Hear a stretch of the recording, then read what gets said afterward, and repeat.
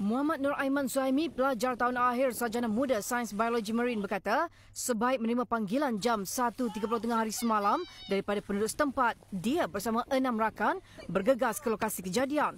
Ketika tiba, ikan itu kelihatan semakin lemah, dipercayai akibat terdampar agak lama di kawasan cetek.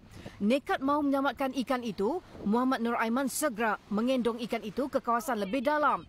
Dia bersama rakan-rakan yang lain menunggu hampir 30 minit untuk memastikan ikan itu benar-benar selamat berenang ke tengah laut. Tapi saya tak berani nak pergi dalam sangat sebab ombak kuat kan.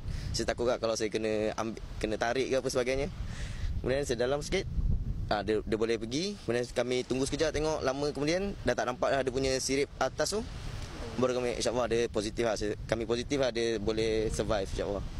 Mereka percaya ini kejadian pertama ikan lumba-lumba terdampar di pantai Tanjung Gelam.